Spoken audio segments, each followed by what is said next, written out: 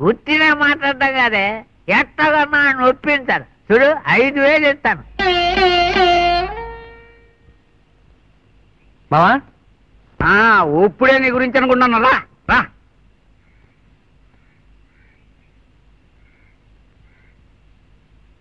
ఐదు వేలు ఇటీమో గంగని తీసుకుంటాను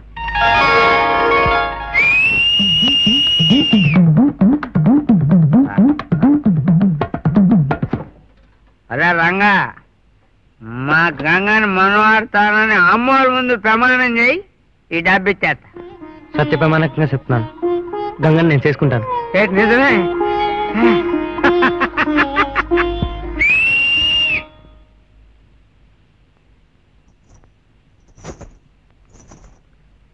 దండాలు బాబు గారు. ఎవరు? దండాలమ్మా నేను రంగణ్ణి. చలపతి మాటారు గారు ఇంటికాడ తమన్నాను చూశారు. మనం వస్తుంటే ఎదురొచ్చాడమ్మా. హాయ్ ఇటొచ్చావేమిటి? అమ్మతో గత పనుండి. ఉమ్, చెప్పు. అమ్మాయి గారి సంబంధం మీరు చేసుకోండి అన్నారంట. అది కుదరదులేవయ్యా. మరీ పదివేలే ఇస్తా అన్నాడు. తమరు పదిహేను అడిగారు నిన్నాను వీలు పడదన్నాడు కదా ఆయన? మా అమ్మాయి గారు మీకు నచ్చారా బాబు గారు? మనిషి బాగానే ఉంది. కట్నం కుదరలేదు కదా. తమరేమనుకోపోతే ఆ మిగతా ఐదేళ్ళు నేను ఇస్తానమ్మా. తమ అయ్య గారి కాడ పదివేలు తీసుకుంటారు కానీ. ఇదిగో డబ్బు కూడా తెచ్చాను నీకు వాళ్ళకి ఏమిటి సంబంధం?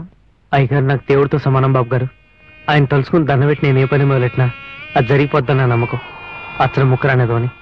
పిల్లలకి చదువు చెప్పి అయ్యగారు అంటే చిన్నతనం నుంచి నాకు ఎంతో ఇష్టం. అట్టంటే అయ్యగారు కళ్ళంట నీళ్ళు చూడలేకపోయాను. బాబు గారు మీకు దండ పెడతాను. అమ్మా అమ్మాయి గారు చాలా మంచి మనిషి అమ్మా. మీకు సంబంధం ఒప్పుకోండమ్మా.